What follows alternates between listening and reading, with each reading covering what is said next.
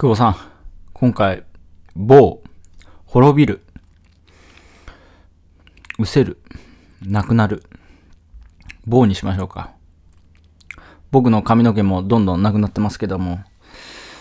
まああの、確かにね、まあ後悔はないんですよ。まあやりきってるんで後悔はないんだけども、なんかまあ夢見て、もうちょっとなんかやりたいことあるな、みたいな思ったこともあるんですけど、うん。まあ、いずれにせよね、どう思ってもどう感じても、どう生きようが、どうしようが、結局、あの、みんな亡くなるんで、いなくなるんですよ。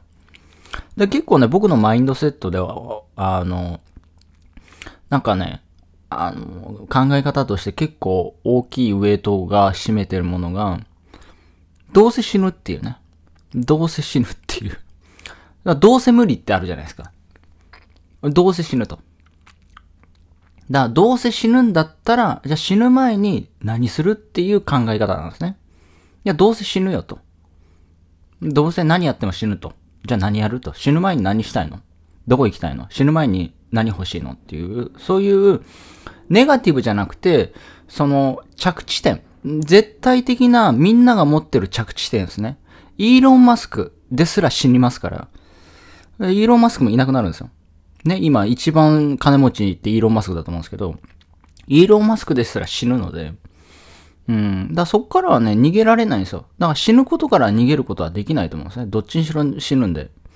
寿命がありますから。だからこの前ね、僕あの、鹿児島で、その、山、走ってたんですけど、あの、すげえ木があってね、なんか樹齢1500年みたいなね。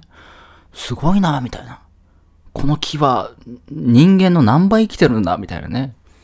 なんかすごい思いましたよね。人間は知能もあっていろんなことできるんだけど、この木に寿命は勝てねえのかと。なんか人間ってしょぼいな、みたいな。人間ってしょぼいなと思いましたね。いろんなことできんのに、この木に比べるとね、木ってただそびえ、そびえ立ってるだけじゃないですか。基本的に。